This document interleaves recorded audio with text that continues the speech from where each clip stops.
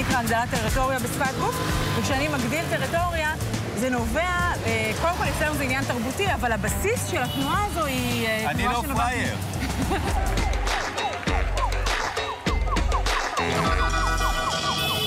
הטפיחות האלה על השכם, זה ישראליות. אין מצב שבאנגליה, אפילו לא בארצות הברית, לא תמצא בן אדם שיטפח לבן אדם השני על לך. השכם, זה לא יקרה. זה לא יקרה, זה כניסה לטריטוריה אינטימית, זה פשוט לא יקרה. עזוב את היד.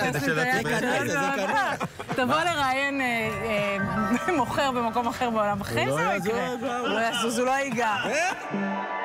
בן יהודה מחיי השפה העברית יכול לחגוג ניצחון גדול מאה שנים אחרי החזון. ניצחון בשפה המדוברת, אך הפסד במלחמה על השפה השלטת. ישראלים, אנחנו יכולים לראות בשפת הגוף שלהם שימוש יתר בידיים. הם ידברו הרבה עם ידיים, בצורה פתוחה, גלויה, רחבה מעט מרוחב הגוף. היד הימנית שלהם עבדה שעות נוספות. היד הימנית מייצגת את הצד האלים של האישיות שלהם. תראי את הגבר הזה, אולי מסתכלה עלינו ומנשק אותו. התרחשות ספונטנית כמו זו יכול רק לחלום עליה כתב לדוגמה בגרמניה. כאן היא מתרחשת כל הזמן כשצוות טלוויזיה בסביבה. חשבתי שעד כדי ככה אתה מיצה. אה, שפת הגוף. נכון. היי, ממא מיה. בעיניי זה כל כך מקסים שישראלים באים ושמים את הכל על השולחן, לטוב ולרע. ומה שנראה פחות טוב הן התמונות האלה. ביקור בספארי שאצל אחדים לא מספק אילולא ליטפו קצת זברה, או לפחות פינקו בבמבה את השימפנזה. בואי אבא, בואי.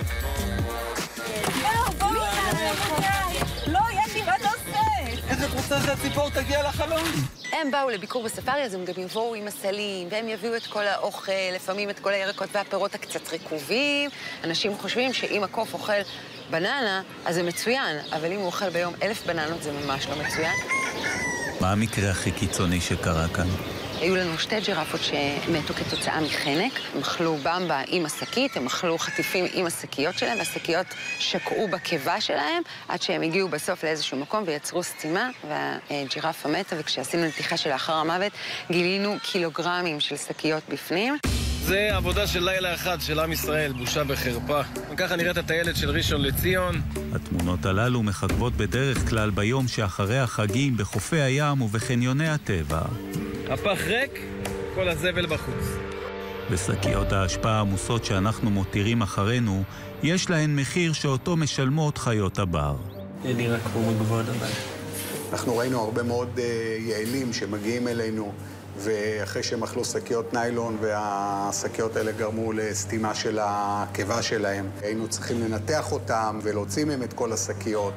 אז הנה עוד שקיות, ומקופלת, וכוס קפה, ובעצם נשאלת השאלה למה הישראלי לא מסוגל לזרוק את האשפה שלו לפח. ואז אנחנו מגלים בחניון את השלט הברור הזה שאומר שאין פינוי אשפה.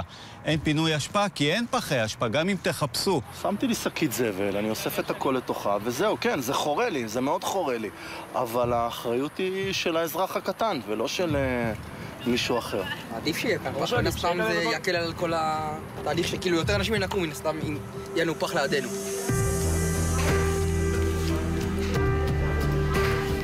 אנחנו רואים המון צווים שנדרסים, טרקטורונים, כל מיני רכבים של 4 על 4 שאנשים נוסעים במקומות שהם לא צריכים לנסוע בהם, וכתוצאה מזה הם פוגעים בבעלי חיים.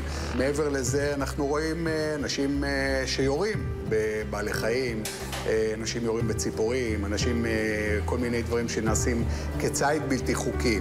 בית החולים לחיות בר הוא מן הגדולים בעולם, וזה גם בזכותנו. הרבה מבעלי החיים שמגיעים אלינו, ומגיעים אלינו לבית החולים, מעל ל-4,000 בעלי חיים בשנה. חלק גדול מהם מגיעים על ידי אה, אזרחים, אזרחים שבאמת אכפת להם וחשוב להם. ובאמת זה מרחיב את הלב לראות את, ה- את האכפתיות הזאת. יודעים למה הכי טוב לבוא לספארי על הבוקר? למה? כי בבוקר החיות הכי הכי רעבות. זה בדוק. פתח את הצידנית. מאז מתו שתי הג'ירפות לפני 15 שנה, שברו את הראש בספארי איך מפסיקים את ההרגל המגונה הזה לחנוק את החיות באוכל. הבנו שאת הקהל הישראלי אתה לא יכול לרתום דרך כעסים ודרך ענישה, אם תבוא ותיתן דוחות, אם תגיד לו לצאת החוצה. הוא יכעס מאוד, וגם יחכה שאתה פשוט תלך משם וילך ויאכיל. אני החיות. אני אוכל, אני אוכל, מה אתם? זה, זה רעש את, תני לי, שילמתי כרטיס כניסה. השוטר הרע לא עבד, ההסברה בגובה העיניים דווקא כן. היא שכנעה את המבקרים הישראלים והתופעה פחתה משמעותית. לא שוטר ולא להתנשא ולא לכעוס, באמת לבוא ממקום של הסברה ולרתום אותו, ו- וזה עובד. וגם ביחס שלנו לסביבה ולטבע יש שיפור בשנים האחרונות. 2017 הייתה השנה הנקייה ביותר בחופים. 54 אחוזים וחצי מן החופים היו נקיים במשך תשעה חודשים מהשנה.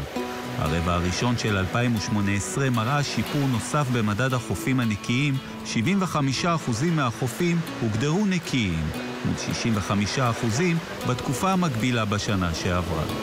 מאמצים חינוכיים גדולים עובדים, אנחנו לא קוטפים פרחים מוגנים, כי המדינה שכנעה אותנו. אז כשיש קמפיין, הציבור בסופו של דבר מקבל את התכתיב החינוכי הזה והופך אותו לחלק ממה שהוא מאמין בו.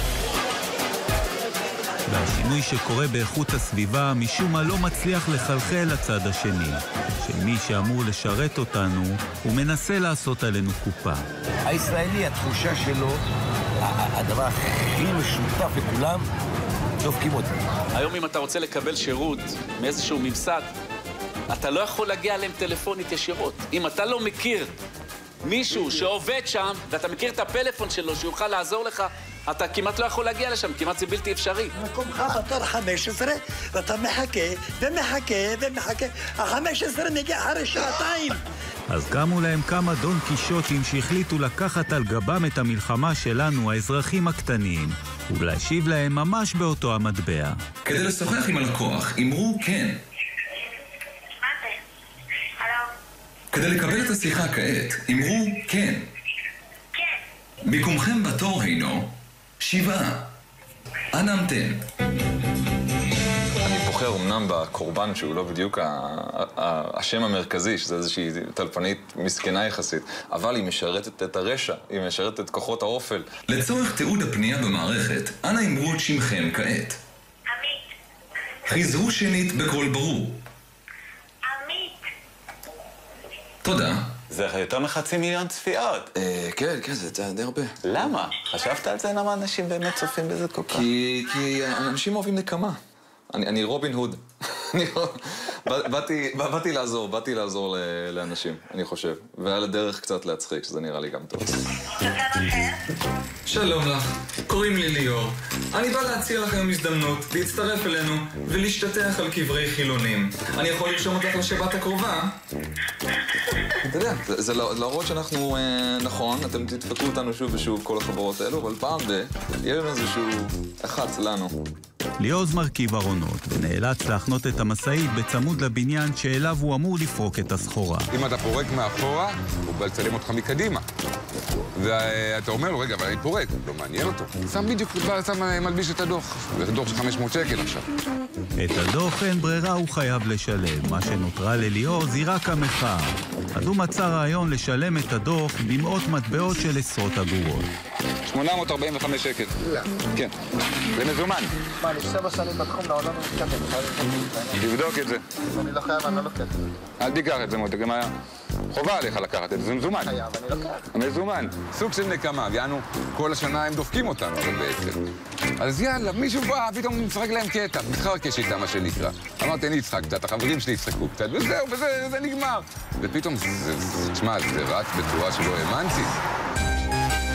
ביחסי הכוחות שבין הלקוח לנציג השירות, הלקוח תמיד צודק. ואולי לא, בכניסה למסעדה של טל, הלקוח תמיד אשם. מעין הומור שכזה. כל הגישה ללקוח היא קצת פורצת דרך, כי היא קצת חוצפנית, ואנשים אוהבים את זה.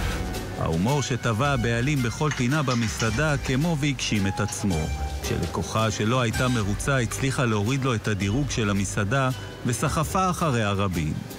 המנה של החונקי כמרים הגיעה בשלום, המנה של הפנה הגיעה גם בשלום לדעתי, אבל נפלו לבפנים איזה ארבע חתיכות של כמרים. במקום צינורות, משהו קצת יותר עגול. בדיוק. היא התקשרה ואמרה שהמנה לא לרוחה. פנה נגע לי במנה, אני לא יכולה, אני בא לי להקיא. אמרתי לה, אל תהיי קטנונית. אני לא קטנונית, אני... ואז היא הלכה כבר לפייסבוק, ומשם נהיה מחול שדים. ופתאום אני רואה את, ה, אני רואה את הכוכב אחד, כוכב אחד, ואני התחלתי לקבל איזה הכרה. זה הגיע תוך 24 שעות, מחמש כוכבים לשלוש. שנה עברה והמסעדה של טל מתקשה להתאושש מההתרסקות בדירוג. אני זיכיתי אותה, שלא תטעה. ולא לא מרחמים עליך, כי הפן הזה של עולם הפרסום, של הפייסבוק, אה, ממש מסעדות נשענות על זה, אני אגיד לך כמעט מאה אחוז. אם זה במסעדה או בכלל במרחב הציבורי, אנחנו מגיבים מהר מדי ולעיתים גם בלי לחשוב על התוצאות. יכולים לנהל ויכוח בצעקות, אבל אחר כך הולכים לשתות בירה ביחד. בישראל הרגשות שלנו קופצים נורא מהר, לטוב ולרע, וזה קופץ אצל כולם. פרופסורים ועמך אומרים לנו משהו, אנחנו מיד מגיבים, והמיד מגיבים הזה בא מהקומה של הבטן.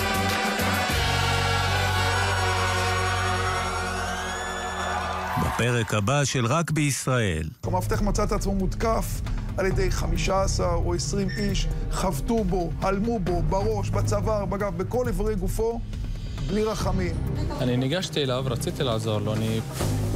בכניסתי למיטה שלו, אני רציתי להדליק את האור, אני נותן לו את הגב שלי, פתאום ירד מהמיטה, דחף אותי ונתן לי אגרופים לעין.